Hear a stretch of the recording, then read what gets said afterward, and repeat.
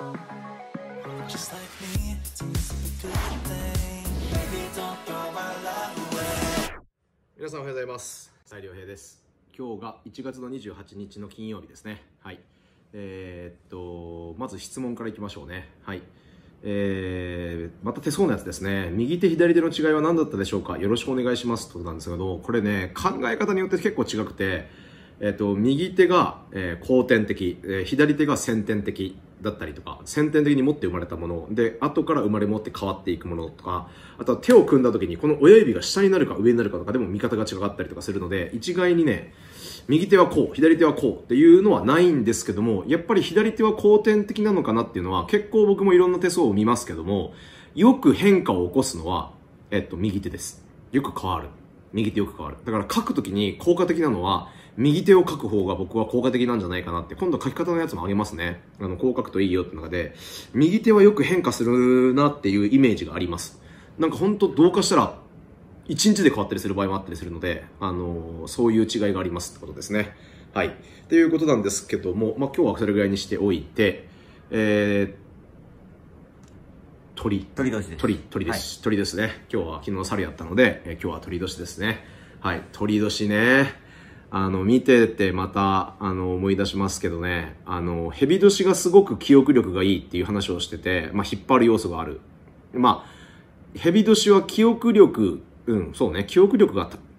あります。まあそれに次いでというか、それ以上に。で、引っ張りがちなんですよ、蛇年の人は。ちょっとそれをね。根に持つタイプっていうのが。さっき、生まれた日にちを見たら、生粋の蛇やったんで。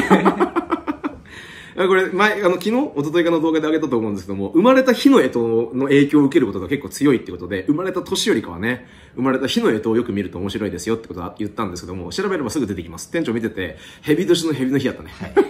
もう、て生粋の生粋の蛇なのね、これね。もう生粋の蛇です、これね。だったりするんですけども、まあ、えっと、鳥年は、引っ張らない。けど、記憶力めちゃくちゃいいです。だからもう、干支の中で具を抜いてやっぱ、えっと、まあ、記憶力もいいし、先見の明がありますね。で、やっぱ鳥年って言ってやっぱり印象にあるのは、まあ、妙に勘が鋭いんですよ。鳥年の人って。勘が鋭い。俺ね、やっぱね、鳥年っていうところで考えても勘が鋭い直感センスですね。やっぱありますね。ビビッと来てんなっていうので見ていくと鳥年の人で感じることも多いですし、あとは先見の明って言いましたよね。あのーもあるし、蛇年の人は引っ張るって話だけど、記憶力のいい鳥年の中で、基本鳥年の人はちょっとクールとか冷静な人が多いんだけど、内面はね、ものすごい情熱を持ってる人がいたりとか、あの、強い固定観念にとらわれやすいところもあったりしますけども、そういう方があります。で、すごい二面性がある人なので、まあ、そうそう馬年みたいに簡単に心を開くっていうことはないかな。仲良くなっていく中で、あ、この人こういう人だったんだっていうのが、あの長い付き合いの中でどんどん出てくるのが、え鳥年なのかなっていうイメージはありますね。ありますあります。これ、で、まあ、どちらかというとね、会社の社長さんとかっていうのもいますよ、もちろん。職人肌の人が多いかな。職人肌の人。一つのものと言っていくと、僕の周りにいる優秀、まあ、うん、そうですね。やっぱ、この人すげえなって思うような人たちの中には、美容師さん、大工さんとか、えーやっぱね、一つのものにコンコンと取り組んでいく。あ、そっか。なんか、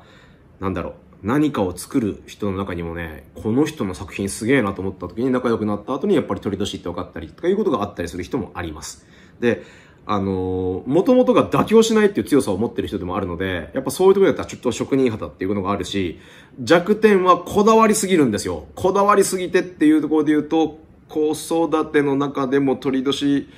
とかで言っていくお父さんお母さんとかはちょっと固定観念にとらわれすぎて、うーんと、まあね、先見の明もあるし、言ってることは間違ってはないとは思うんだけど、ちょっと押し付けることをやりやすいっていうところで悩んでくる人も意外に多かったりするなっていうのはありますね。もう私がこう思ったらこうだからって、確かにね、言ってることは当たってんだけど、えーそれを押し付けしてしまうと子供のいいところまで、あの、なくしてしまう可能性があるから注意してねっていうところがあったりします。で、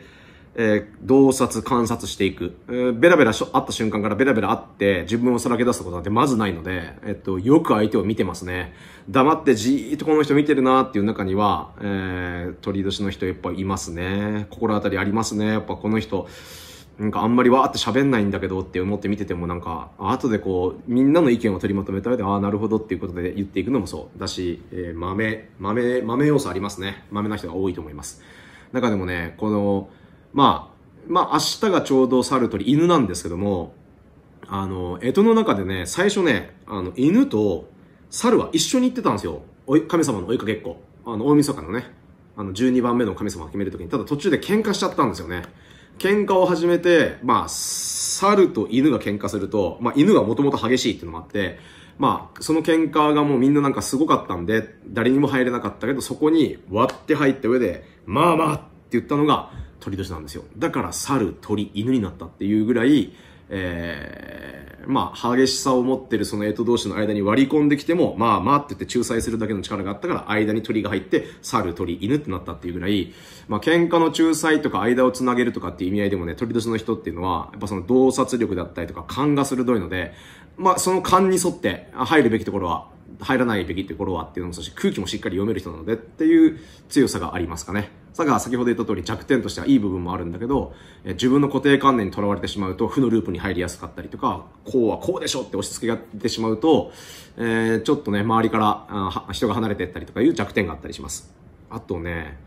鳥年の人ってやっぱり羽があるので、あの、鶏、カゴ、カゴの中の鳥で終わるか、渡り鳥で行くかとかいう話をよく先生がやってたのを思い出しましたけどね、あの、家でじっとするというよりも、早いうちから実家から出る方がいいぞって言われることが多いです。自分の羽持ってどれだけ自分の羽があの世界に通用するかっていうことが分かるんだったら遠くに遠くに行きなさいっていう話を、まあいろんなこれも鳥がいるので、まあね、前にも言った通り、干支は60種いるからですね、そのいろんな鳥がいる中でもこの鳥っていうのは、えー、やっぱり羽がある以上はどこまで飛べるかっていうことで、えー、いろんなことにチャレンジしなさいよっていう話がありますけどね、やっぱり家にじっとするっていうか、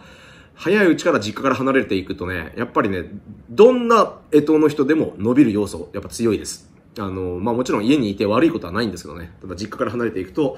えー、どんどんどんどん運っていうのは磨かれていきますよっていうのは全ての干支に対して言えることなんですが、特に鳥年の人はあるかなって思います。はい。今日はそんな感じですかね。はい。えー、まだまだ質問もね、手相のやつがバンバン入ってますので、手相のやつも答えていきながら、時間差はありますけども、全てのやつに、えー、答えていきますので楽しみにしておいてください。手相特集やりましょうね、今度ね。はい。ただまだ、前に言ったかな ?2、3日前にも言ったけど、まあ、師匠にね、言われたすっごい重要な説教あるので、その話もちょっと、えとシリーズが終わったら、まずその話もしていこうかなと思ってますので、楽しみにしておいてください。今日は以上です。じゃあ行きます。